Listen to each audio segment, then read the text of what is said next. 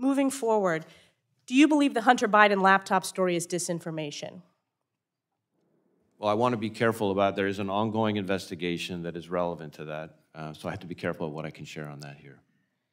Do you believe the Hunter Biden laptop story is disinformation? I, I don't think there's anything I can share on that in open setting. Were you aware that the FBI personnel were in contact with Twitter regarding the Hunter Biden laptop story? I don't believe FBI personnel were in contact with, with Twitter about the Hunter laptop story specifically. I think there were people in contact with Twitter about Russian disinformation efforts. Of which the Hunter Biden laptop story was included, according to the FBI.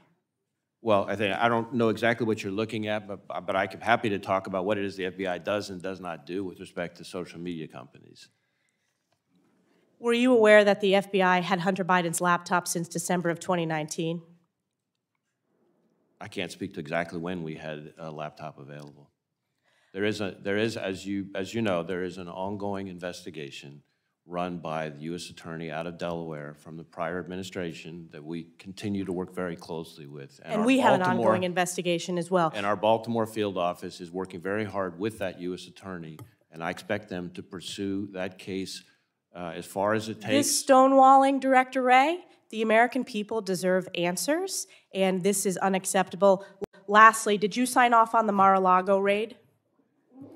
Uh, Well, first off, it was not a raid, it was an execution of a search warrant. Did you sign off on the execution second- of the search warrant? May I finish? Second, I don't sign off on individual search warrants in that case or in any other. Did Attorney General Merrick Garland sign off to your awareness? I can't speak to the Attorney General. Was there dissent at senior levels of the FBI about the conducting of the, of the search warrant? I, I can't speak to indiv- internal discussions among the FBI or among the FBI and the Department of Justice. Even though it's been reported in the Washington Post? There are lots of things reported in the media. I know, leaked from your agency. be. Leaked from your agency, frequently it's reported in the They Washington may or may Post. not be accurate. It may or may not be accurate. With that, I yield